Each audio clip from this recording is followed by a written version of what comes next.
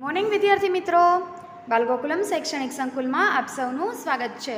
વિદ્યાર્થી મિત્રો, આજે આપણે અંગ્રેજી વિષય શીખવાનો છે. તો અંગ્રેજી વિષયમાં આપણી જે આ બુક છે, Navneet English primer part two. એમાં આપણે અત્યાર સુધી ત્રણ ચેપ્ટર સુધી શીખી ગયા. ત્રીજા ચેપ્ટરમાં આપણે શેના વિશે શીખ્યા હતા? વ્હીકલ્સ, એટલે કે વાહનો વિશે. હવે આપણું ચોથું ચેપ્ટર શરૂ થાય છે. એનું નામ છે એનિમલ્સ. એનિમલ્સ એટલે પ્રાણીઓ. પેજ નંબર અઢાર ઉપર આજે આપણે શીખીશું, ઓકે? તો અહીંયા અલગ અલગ પ્રાણીઓ આપેલા છે. પ્રાણીઓને તો તમે જોઈને જ ઓળખી જાવ એમ છો. પણ અહીંયા આપણે શું કરવાનું છે? બધા અલગ અલગ પ્રાણીઓના અંગ્રેજીના નામ અને એના સ્પેલિંગ શીખવાના છે. તો ચાલો આપણે શરૂ કરીએ. જો પહેલું ચિત્ર શેનું છે? બિલાડીનું. એને ઇંગ્લિશમાં કેટ કહેવાય, બરાબર? તો એનો સ્પેલિંગ શું થાય? C A T cat cat એટલે બિલાડી. શું થાય spelling C A T cat. Cat એટલે બિલાડી. ફરીથી યાદ રાખજો. C A T cat. Cat એટલે બિલાડી. ત્યાર પછી બીજું પ્રાણી છે કોણ છે? કૂતરો છે, જેને ઇંગ્લિશમાં ડોગ કહેવાય. કહેવાય ને? હવે એનો સ્પેલિંગ થશે D O G dog. Dog એટલે કૂતરો. શું થાય એનો spelling D O G dog dog એટલે કૂતરો. ફરીથી યાદ રાખજો. D O G dog dog એટલે કૂતરો. ત્યાર પછી ત્રીજું ચિત્ર છે. એ તો ઉંદરભાઈનું છે. તો ઉંદરને ઇંગ્લિશમાં શું કહેવાય? રેટ કહેવાય. તો રેટનો સ્પેલિંગ શું થશે?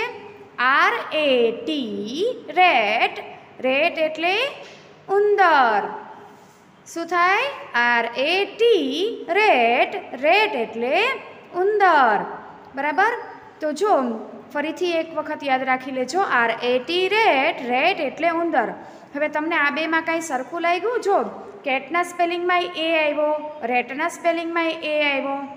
પણ કેવી રીતે? તો જો, આપણે કની ઉપર જે માત્રા છે કે ટ, અને અહીંયા રેટ એવું લખેલું છે, કની ઉપર ને રની ઉપર જે માત્રા આપેલી છે, એ જો ઊંધી માત્રા જેવી છે, બરાબર? તો જ્યાં પણ આવી રીતે ઊંધી માત્રા આવતી હોય, અને પડખે કાનો કે એવું કાંઈ નથી, જો, કોટ કે રોટ એવું નથી, કેટ, રેટ એવું છે, અને ઊંધા જેવી માત્રા આપેલી હોય, ત્યારે એ સ્પેલિંગમાં એ જ લાગે, અને જો સીધી માત્રા હોય ને, તો ઈ લાગે, બરાબર? આમાં ઊંધા જેવી માત્રા છે બેમાં એટલે જો આમાં C A T cat R A T rat એવી રીતે થયું, બરાબર? આ ડોગમાં પણ ઊંધી માત્રા છે, પણ એની પડખે કાનો છે, એટલે એમાં આપણે ઓનો ઉપયોગ થાય. બરાબર? એ ઓ કહેવાય, એટલે ઓનો ઉપયોગ થાય છે.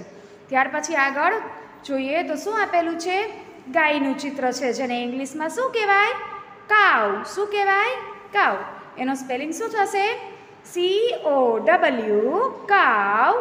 કાવ એટલે ગાય. શું થાય? સી ઓ ડબલ્યુ કાવ.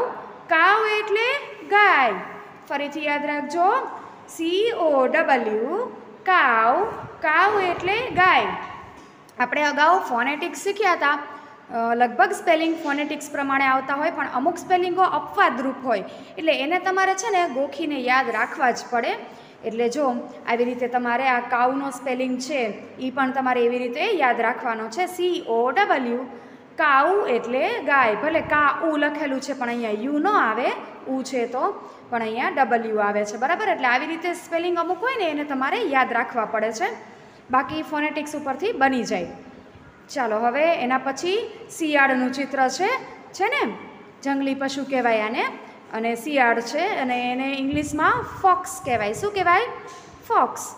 હવે ફોક્સનો સ્પેલિંગ થશે F O X fox fox એટલે શિયાળ. F O X fox fox એટલે શિયાળ. ફરીથી યાદ રાખજો F O X fox fox એટલે શિયાળ. એના પછી ભૂંડનું ચિત્ર છે. તમે આવા ભૂંડ જોયા છે? તો આ ભૂંડને ઇંગ્લિશમાં પીગ કહેવાય. તો પીગનો સ્પેલિંગ છે પી આઈ જી પીગ પીગ એટલે ભૂંડ. પી આઈ જી પીગ પીગ એટલે ભૂંડ. ફરીથી યાદ રાખજો પી આઈ જી પીગ પીગ એટલે ભૂંડ. ત્યાર પછી જો તો આ તો બકરીબેનનું ચિત્ર છે, તો એને ઇંગ્લિશમાં શું કહેવાશે? ગોટ. બરાબર? તો ગોટનો સ્પેલિંગ, તો આને પણ તમારે કાઉની જેમ જ યાદ રાખવો પડશે. ગોટનો સ્પેલિંગ થાય G O A T goat. Goat એટલે બકરી. G O A T goat. Goat એટલે બકરી. ફરીથી કહું છું, યાદ રાખજો આને યાદ જ રાખવો પડશે, ફોનેટિક્સ ઉપરથી આ બનવામાં તમને થોડીક તકલીફ પડશે. એટલે યાદ રાખવાનો છે G O A T goat. Goat એટલે બકરી. ત્યાર પછી હરણનું ચિત્ર આપેલું છે, જંગલમાં આવું હરણ હોય ને, તો આ હરણને ઇંગ્લિશમાં ડિયર કહેવાય. શું કહેવાય? ડિયર. આને પણ તમારે યાદ જ રાખવાનો છે, ફોનેટિક્સની જેમ નહીં બને. એટલે એનો સ્પેલિંગ થાય છે D double E R deer એટલે હરણ. D double E R deer એટલે હરણ. ફરીથી કહું છું, યાદ રાખજો બધા. D double E R deer deer એટલે હરણ. ત્યાર પછી, આ કોણ છે? આ તો જંગલના રાજા સિંહ. તો આ સિંહનો ઇંગ્લિશમાં લાયન કહેવાય. હવે લાયનનો સ્પેલિંગ પણ તમારે આવી રીતે જ યાદ રાખવાનો છે ફોનેટિક્સ પ્રમાણે નથી. તો સ્પેલિંગ યાદ રાખજો બધા, હું બોલું છું L I O N lion lion એટલે સિંહ. L I O N lion lion એટલે સિંહ. ફરીથી કહું છું, યાદ રાખજો બધાય. L I O N lion lion એટલે સિંહ. ચાલો, ત્યાર પછી, એના પછી આ કોણ છે? કાળું કાળું. રીંછ છે. તો રીંછને ઇંગ્લિશમાં શું કહેવાય? બેયર. શું કહેવાય? બેયર. ટેડી બેયર એવો શબ્દ બોલો છો ને તમે? રમકડું હોય તમારી પાસે ટેડી બેયર. તો એ ટેડી બેયર છે ને, એ પણ તમે જોજો, રીંછ જેવું એનું મોઢું હશે. તો આ બેયર એટલે રીંછ. સમજાણું? હવે જો આ બેયરનો સ્પેલિંગ પણ તમારે યાદ રાખવો પડશે. ફોનેટિક્સ પ્રમાણે બનાવી નહીં શકો. એટલે ચાલો આપણે એને જોઈએ. એનો spelling B E A R bear bear એટલે રીંછ E A R bear bear એટલે રીંછ ફરીથી યાદ રાખજો B E A R bear bear એટલે રીંછ ત્યાર પછી જો આ શેનું ચિત્ર છે? ઘોડાનું. તો ઘોડો છે એને ઇંગ્લિશમાં હોર્સ કહેવાય. હોર્સનો સ્પેલિંગ પણ તમારે યાદ રાખવો પડશે. ફોનેટિક્સ પ્રમાણે બનાવી નહીં શકો તમે. તો ચાલો બધા યાદ રાખજો spelling. H O R S E horse horse એટલે ઘોડો. H O R S E horse horse એટલે ઘોડો. ફરીથી કહું છું, યાદ રાખજો.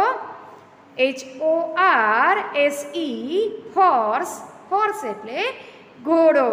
બરાબર? હવે ઘોડા પછી આ કોણ છે? ઘેટું છે આ તો, જે આપણને ઊન આપે છે સ્વેટર બનાવવા માટે. તો આ ઘેટું છે એને ઇંગ્લિશમાં શું કહેવાશે? શીપ. હવે શીપનો સ્પેલિંગ તમે છે ને આપણે કક્કો લખાવ્યો હતો ને, અંગ્રેજી કક્કો, દીર્ઘઈવાળો, એના ઉપરથી બની જાય એટલે તમે યાદ રાખી શકશો. બરાબર? એને તમારે બહુ ગોખવો નહીં પડે. શી પ એટલે શને શરણાઈનો શ અને એને દીર્ઘઈ છે અને પ છે એટલે શરણાઈનો શ અને દીર્ઘઈ, શરણાઈનો સનો એસ એચ, દીર્ઘઈનો ડબલ ઈ અને પનો પી. તો આવી રીતે તમે લોકો યાદ રાખી શકશો અને S H double E P sheep. Sheep એટલે ઘેંટું. S H double E P sheep. Sheep એટલે ઘેંટું. ફરીથી કહું છું, યાદ રાખજો S H double E P sheep. Sheep એટલે ઘેંટું. તો વિદ્યાર્થી મિત્રો, આજે આપણે આટલા જ સ્પેલિંગ યાદ રાખશું. ફરીથી બધા એક વખત મારી સાથે જ, હું બોલું, મારી સાથે સાથે જ બોલી જાજો. બધા સ્પેલિંગ આપણે એક વખત બોલી જઈએ. બધા બોલજો C A T cat cat એટલે બિલાડી. D O G dog dog એટલે કૂતરો.